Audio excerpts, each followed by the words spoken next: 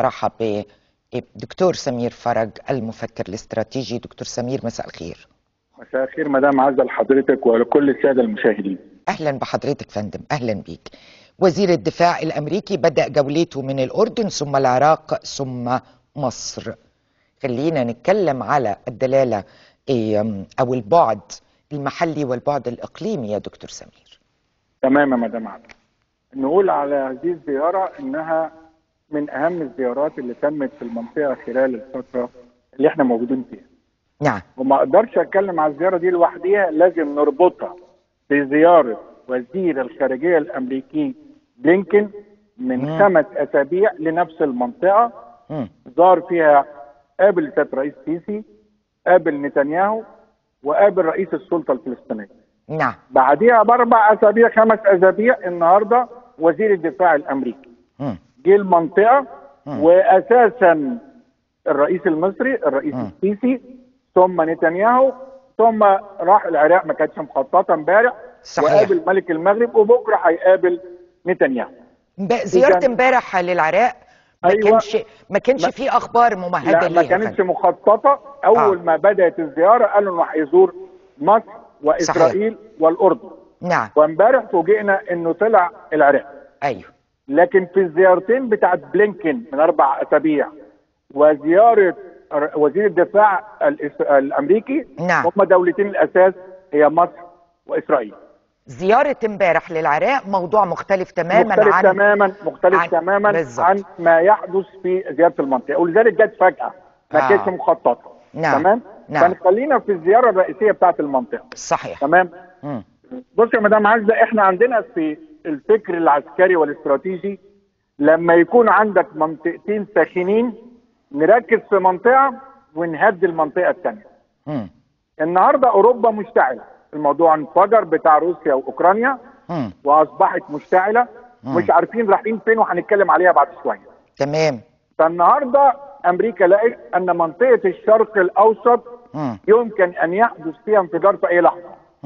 وعشان كده بلينكن جت ما حدش يبص لكل زيارة لوحديها يا جماعة صحيح لازم نجمع العملية ماشية إزاي نعم. لأن أمريكا لها هدف استراتيجي في المنطقة نعم مش نعم عايزة توتر ينشب عنه اشتعال وحرب في المنطقة مم. فبالتالي جه وزير الخارجية يعني ده. هدف ده هدف أساسي آه ل- هنقول الثلاث أهداف اللي. أمريكا آه تمام فجه بلينكن اللي من أربع أسابيع.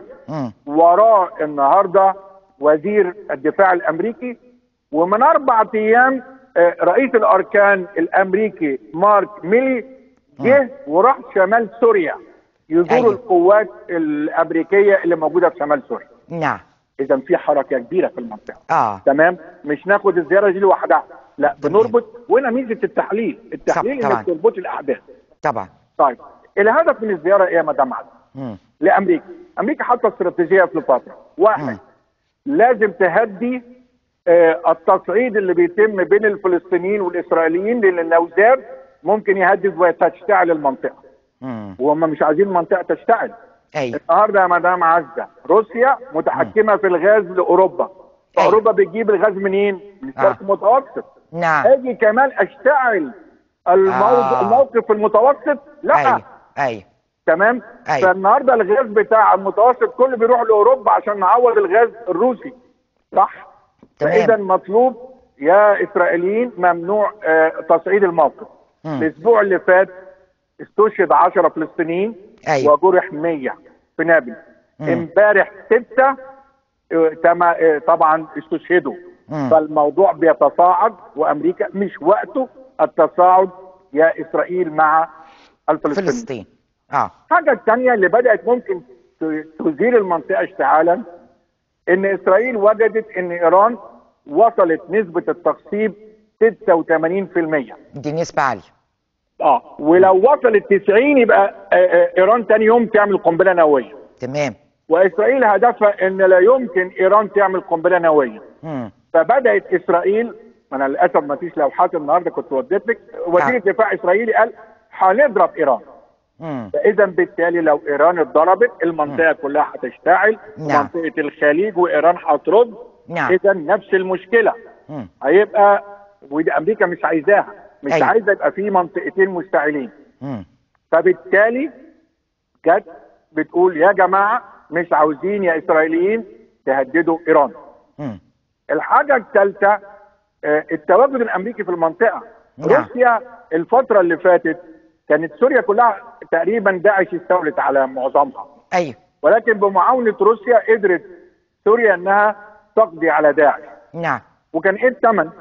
إن روسيا بقى عندها قاعدتين عسكريتين في سوريا سوري نعم قاعدة إحميم الجوية نعم. وقاعدة طرطوس البحريه مم.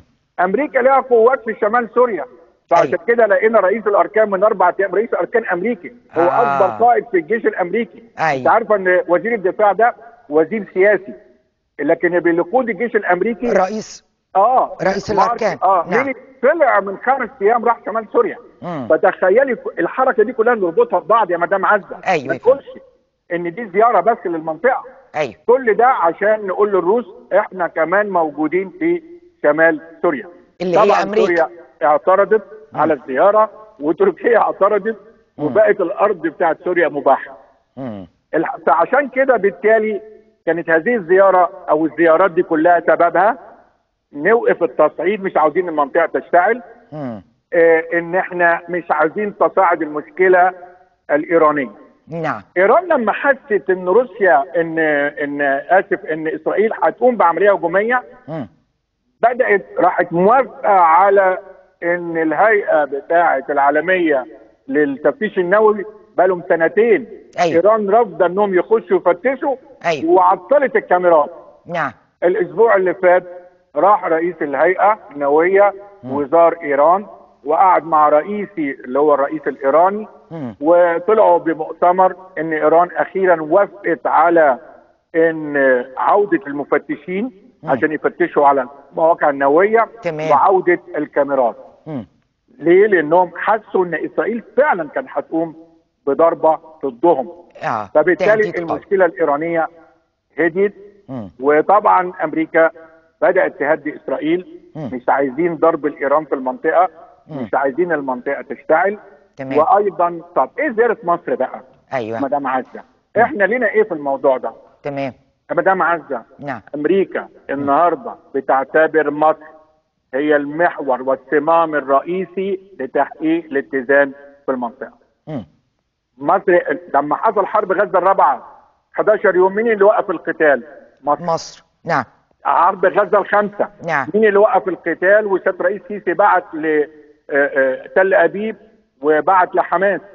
مصر فالنهاردة مصر هي القوة المتزنة مم. التي لها علاقات طيبة مع الجميع نعم وتقدر تسيطر على هنا وهنا مم. وكان لازم يجي وزير الدفاع النهارده الأمريكي ويقول الكلام ده. للأسف على مواقع السوشيال ميديا بعض أيوة. الكلام لازم أرد عليه رغم مش مطلوب نعم. يقول لك إن أمريكا جاية تقول لمصر تقفي معانا في ساعة ضرب إيران لا مصر لن تدخل في تحالفات مع حد نعم. مصر لن تاخذ في أي حاجات تعاون عسكري ضد أي حد نعم. ولكن مصر هي صمام الأمان النهارده في المنطقة مم. وعشان كده الرئيس وزير الدفاع الأمريكي جه النهارده مصر طالع بكرة إسرائيل. هيتفق مع نتنياهو. تهدئة الأمور مع الفلسطينيين مم. عدم التصعيد وهنا أنا عايز أقول حاجة برضه يا مدام عزة. الفلسطينيين عندهم فرصة دلوقتي كبيرة. إنهم يحلوا المشكلة لأن إحنا مطالبنا كعرب وفلسطينيين حل المشكلة في إطار الدولتين. أيوه. من حظنا دلوقتي إن جو بايدن رئيس الامريكي مؤمن بهذه النظرية. بالفكرة دي صحيح. الفكرة. بعكس نعم. ترامب. ترامب قال لك لا هي دولة واحدة. صحيح. وده اللي عايزه نتنياهو. أيوه. فالمفروض الفترة دي يا مدام عزة إحنا نتحد كفلسطينيين وما بقاش في انقسام غزة وحماس لوحدها أيوه. والضفه والسلطة في الضفة لوحدها. مم. ومصر الفره اللي فاتت بذلت جهد عشان ما. تبقاش دي من الفرص الضائعة أيضا. والله برافو عليك. لأن دلوقتي القضية الفلسطينية قضية الفرص الضايعة. صحيح. فالنهاردة إحنا مش عارف ليه بنعمل كده ومصر بذلت جهد لأن حتى في الغرب يقول لك إيه لما نيجي نتكلم مع الفلسطينيين نتكلم مع مين؟ مع مين؟ مع السلطة في رام الله ولا مع آه، آه، حماس؟ صحيح. وخاصة إن بعض الدول بتعتبر حماس يعني منظمة كذا أيوه فبالتالي لازم الفلسطينيين ينتهزوا هذه الفرصة مم. وإنهم يوحدوا نفسهم مم. وينتهزوا السنتين اللي قاعد فيهم جو بايدن. عشان نعمل حل المشكلة في إطار الدولتين لأن نتنياهو رافض أيوة. والنهاردة في في إسرائيل لأول مرة من سنين مم. تكونت حكومة يمينية صحيح دينية متطرفة متطرف ف- ف- ده في مشاكل داخلية أصلا عند إسرائيل. بالظبط عم- عندك برافو عليك يا مدام عزة. أيوة. في مشاكل داخلية لأن آه، نقولها برضو عشان الناس تبقى عارفة. أنت عارفة أي دولة في العالم فيها ثلاث سلطات وسلطات منفصلة؟ في نعم. السلطة التنفيذية اللي هي أيوة. رئيس الوزراء والوزراء والمحافظين. وفي السلطة التشريعية اللي هو مجلس الشعب. أيوه. في إسرائيل الكنيسة. وفي أيوة. السلطة القضائية. القضائية. والدول اللي في العالم كلهم بتقول لك الفصل بين السلطات. نعم. جه نتنياهو أول ما جه الفترة اللي فاتت وقال لك لا ده أنا عايز الح- الكنيسة يسيطر على القضاء يعين القضاء وكمان من حقه إنه يرفض أحكام القضاء بتاع المحكمه الدستورية العليا. أيوه. طبعا هو بيعمل كده ليه؟ لأن نتنياهو عنده جرائم مخلة بالشرف فبيتحاكم فعشان لو كده يبقى الكنيسة يرفض الحكم بتاعه. طبعا تمام. لتاسع سبت بيتم مظاهرات في إسرائيل نعم ضد هذا الكلام لأن ده ضد الديمقراطية مم. والنهاردة لما إسرائيل بعد كده ما تحدش يتكلم فيها على الديمقراطية أيوة. أنت لأول مرة بدأت تسيطر على الثلاث سلطات ودي ما بتحصلش في العالم تمام فالنهارده طبعا هم عندهم المشكلة دي. زائد مشكلة التصعيد زائد مشكلة المستوطنات يا مدام عزة أيوة. النهارده الأسبوع اللي فات قرار بتاع ب 4500 بيت كمستوطنة جديده في الضفة نعم. إحنا لو قعدنا كده 10 15 سنة مش هنلاقي مكان للفلسطينيين في الضفة. أيوه صحيح. فلازم الفلسطينيين يتحدوا نعم. ولازم يقعدوا ولازم يحلوا المشكلة في إطار جو بايدن السنتين دولت لأنه أمريكا موافقة على حل القضية في إطار الدولتين. نعم ده لو عايزين يحلوا. ده لو عايزين يحلوا دكتور سمير حضرتك قلت في متن كلامك وفي سياق كلامك قلت أوروبا مشتعلة بسبب روسيا وأوكرانيا ومحتاجين نعرف أهداف أمريكا للمنطقة وشايف الوضع إزاي وتطوره فيما يتعلق بروسيا وأوكرانيا وهل هتزداد أوروبا اشتعالا؟ تمام يا فندم. إحنا دلوقتي من 24 فبراير اللي فاتت دخلنا في السنة الثانية في الحرب الروسية الأوكرانية. نعم. نتيجة هذه السنة اللي فاتت إن روسيا احتلت 20% من الأراضي الأوكرانية. الأربع مقاطعات وأعلنت ضمهم إلى آه، روسيا. أيوه. كلنا عندنا أمل إن الفترة دي تحصل معاهدات سلام بين الطرفين لأن روسيا قالت مع انتهاء الشتاء أنا هبدأ عملية كبيرة جدا مع أرضية. الربيع القادم. أيوه. وروسيا استعدت تماما في الفترة دي لدرجة إن آه، يعني بوتين لأول مرة يعمل إعلان وهو بيجتمع بالمجلس الأعلى وده ما حدش بيعملها نعم. إنما هي كانت رسالة لأمريكا والدول. أيوة. أنا هنفذ عملية كبيرة في آه، الربيع القادم تمام. ولذلك كان عندنا أمل إن إحنا آه، الموضوع ده نخش بقى سلام. جد أيوه أيوه الصين وقدمت مقترح من 12 بند عشان يقعدوا ويتفقوا اتفاقية سلام. مم. للأسف ثاني يوم أمريكا رفضت هذه المعاهدة أو هذا المقترح الصيني ورجعنا للمقترح صفر نعم. فالنهارده عندنا مشكلتين. المشكلة الأولانية مع الربيع مم. هتبدأ روسيا تشن عملية كبيرة جدا مش عارفين مداها فين. تمام. الحاجة الثانية نص مارس ده مم. كان في اتفاقية روسيا عاملاها مع أوكرانيا برعاية تركيا والأمم المتحدة تمر الحبوب بتاعه أوكرانيا اللي هي القمح والذرة والزيت. أيوه.